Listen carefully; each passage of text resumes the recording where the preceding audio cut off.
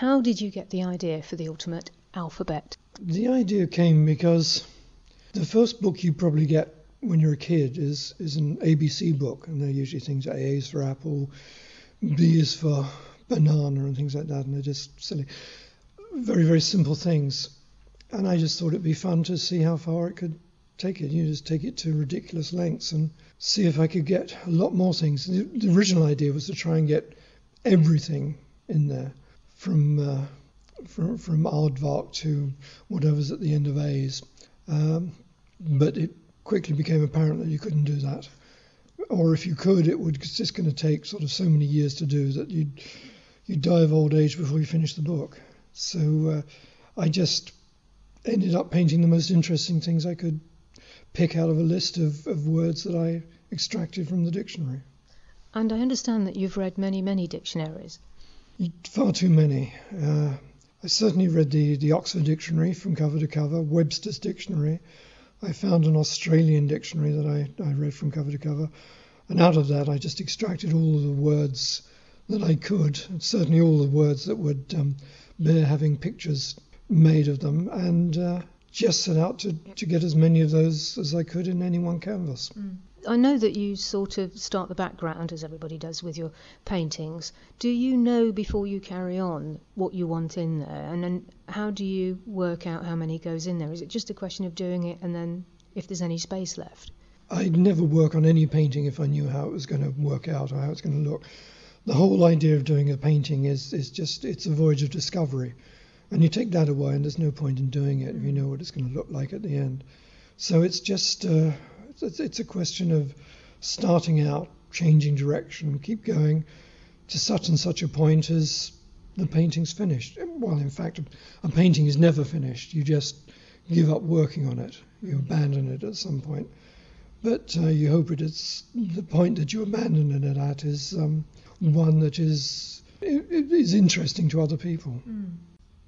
You've got a very personal signature in as much as you'll put yourself. Is it in every painting?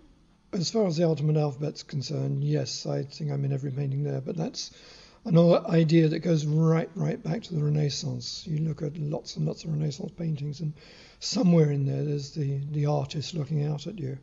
Um, Dürer did it a lot, and um, Van Eyck and uh, Botticelli and people like that. It's just a very old idea that um, I thought it'd be fun to do. Mm. And what about the snail? What's the origin of the snail? Well, that's just a little joke to myself, really. That's how it started out. It just takes me such a long, long time to, to make a painting that I always imagine myself painting very, very slowly. And uh, the snail in there is just to really goad myself into working faster. And I, I never thought other people would notice it, but of course they do. And now it's become a bit of a trademark, and people insist on it being in the pictures. How how long does it take you to do a picture? Or again, is time irrelevant? You just do it until it's finished. Depends how big the picture is. You can tell how long a picture is going to take by the amount of square inches, square centimeters there are in it. I tend to paint to the same amount of detail, whatever the size. So if it's a big painting, the biggest one I painted took me two years. Smallest one I've painted took me two days, maybe.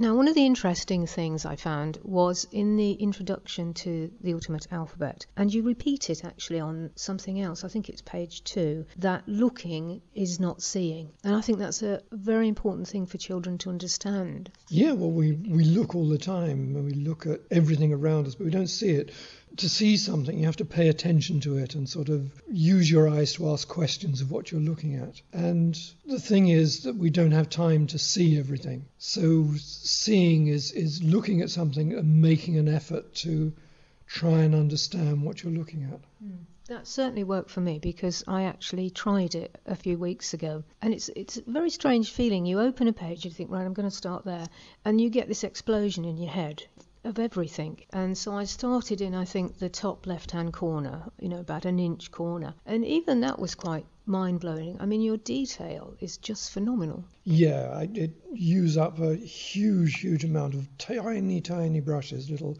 double zero brushes uh, that cost a fortune, and you can get through, I mean, half a dozen of those making a painting. But the, the, the detail is just, it's the result of this, this, this idea of seeing something. You look into it and you see more and more that you want to, to paint. And uh, a lot of my pictures have pictures within pictures, so it, it, it, it's all to do with this, this act of, of seeing. Mm. So, are you like that personally? Are you a detail person? I mean, it's quite strange. We're in your studio, which is very nice and sparse. There's lots of space until you get to look at a painting, and then it's really, really crowded. It's quite weird, actually.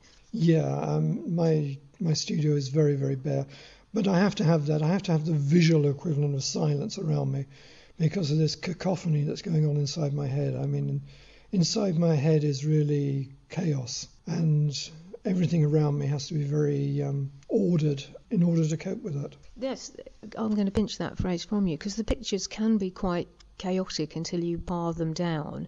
And I d- I don't believe that you could just look at the picture and get the words. If anybody can do that, they're absolutely brilliant. But for me, I would have to do it. I'd probably do it with a ruler fully, you know, do it inch by inch. Yeah, there was that. The thing about my pictures is that there's dare I say it, there's more to them than meets the eye. You have to actually look into something and ask yourself questions about what you're looking mm. at to get the most out of them. In fact, on some of the paintings, there's things in there which people will never ever get. Uh, for instance, all of the braille in the pictures actually works. So a blind person could go up to one of my paintings, one of my ultimate alphabet paintings, and tell what painting they're looking at just by feeling it. Do you have any favourite artists? Too many.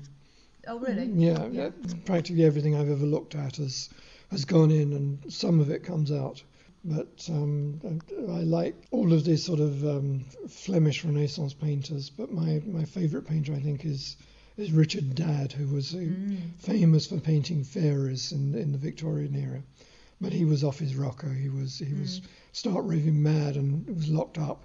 Mm. Um, but I love that kind of obsessive detail.